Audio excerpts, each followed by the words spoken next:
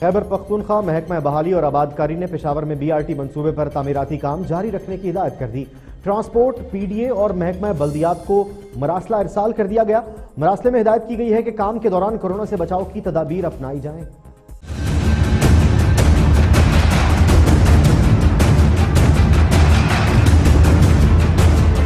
Secretary transport, secretary بلدیات، D G P D A کو ارسال کردہ مراسلے میں کہا گیا ہے کہ ریپڈ بس ٹرانزٹ منصوبہ عوامی فلاح کا منصوبہ ہے۔ بی آر ٹی کا کام روکنا عوامی مفاد میں نہیں۔ مراسلے میں ہدایت کی گئی ہے کہ بی آر ٹی منصوبے پر دوبارہ کام کا آغاز کیا جائے، جبکہ کام کے دوران کورونا سے بچاؤ کی تدابیر اپنائی جائیں۔ صوبے میں لاک ڈاؤن اور سرکاری تعطیلات کے باعث تعمیراتی کام رک گیا تھا۔